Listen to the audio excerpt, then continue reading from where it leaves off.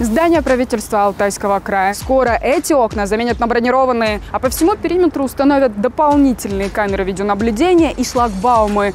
Все это будет стоить 48 миллионов рублей.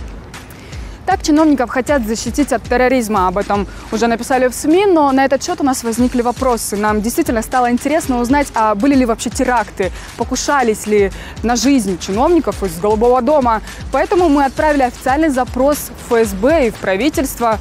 Как оказалось, все это государственная тайна. Я думаю, что так просто на них не нападешь все равно там и охрана, и все у них. В отличие от школьников, где сидит какая-нибудь бабушка. Дай бог, что они выделены, потому что мы живем довольно в сложное время.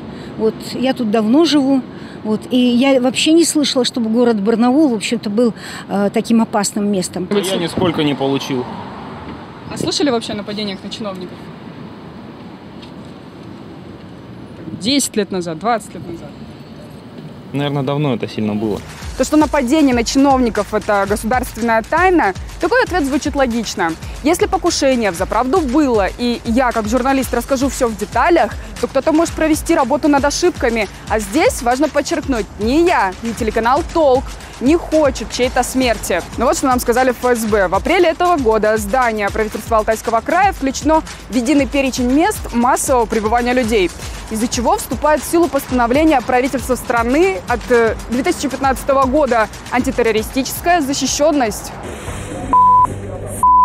Какой-то стреляет. 20 сентября прошлого года студенты Пермского университета спасаются бегством. Они знают, что жертвы уже есть. Потом об этом узнает и вся страна. Убиты 6 человек, а охранник подстрелен.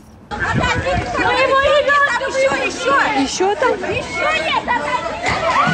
11 мая, Казань. Родители слышат выстрелы и пытаются попасть в школу. Подстрелив двух учителей, выпускник убил семерых школьников.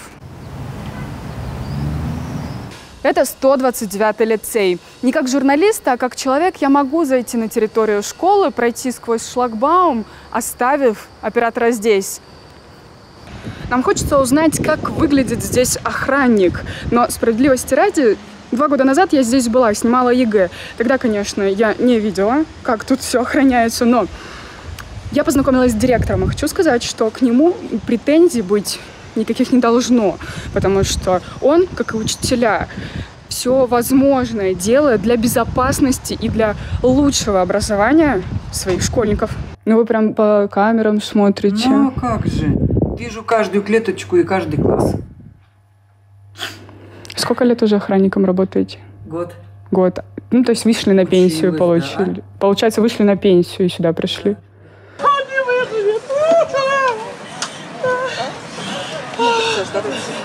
Моя красавица! После апрельской трагедии в Ульяновске, где стрелок убил троих в детском саду, в Алтайском крае начались неплановые проверки. Об этом в интервью телеканалу «Толк» рассказал зампредседателя комитета по образованию Барнаула Василий Губанов. Мужчина и сегодня ответственен за обеспечение деятельности учреждений. Тогда всем стало понятно, на безопасность детей чиновники выделят деньги. На этот раз этому уделят еще больше внимания. На сегодняшний день э, запланирована э, замена видеонаблюдения, добавление видеонаблюдения. 7 миллионов – это видеонаблюдение. Э, Получается 6 миллионов – это у нас э, кнопка тревожной сигнализации и порядка 7 миллионов на э, противопожарную сигнализацию. После интервью в комитете по образованию уточнили, что на тревожную кнопку выделили 2 миллиона рублей.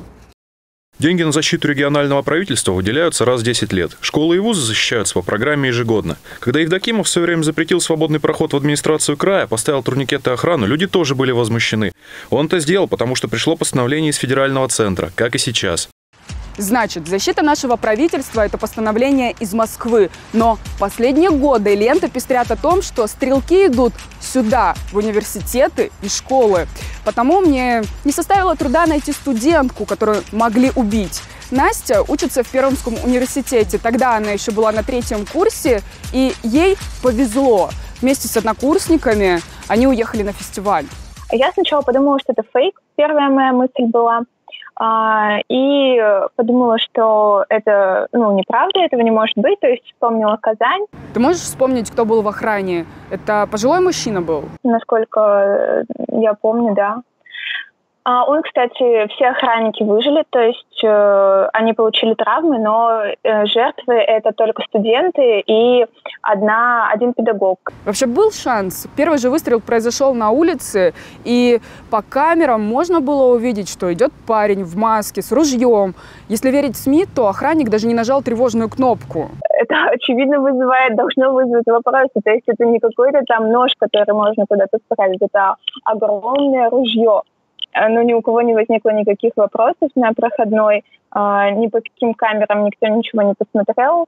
А, то есть, да, среагировали вообще только из-за того, что рядом по счастливой случайности оказались гаишники, которые а, были обучены, что нужно делать в такой ситуации. Когда ты оказалась в университете, то что испытала? У меня была очень сильная истерика в тот момент. Слезы лились, э, я не могла это остановить. В моем корпусе филфаке а, сидела только женщина просто, которая а, ну, выписывала, да, вахтерша, которая выписывала пропуска тем, кто, у кого нет студенческого. Сейчас еще поставили стол с охранником. Поймите правильно, мы не предлагаем сделать здесь колонию строгого режима, нет. Мы хотим, чтобы здесь была охрана, которая правда могла бы противостоять психически больным людям. Сейчас власти предлагают разные меры защиты, но, знаете, у правительства края охрана тут же выходит и спрашивает, кто ты и что вы тут, например, снимаете. То есть а, они в течение пары минут реагируют на то, что им кажется подозрительным. Больше говорить ничего не будем. Делайте выводы сами.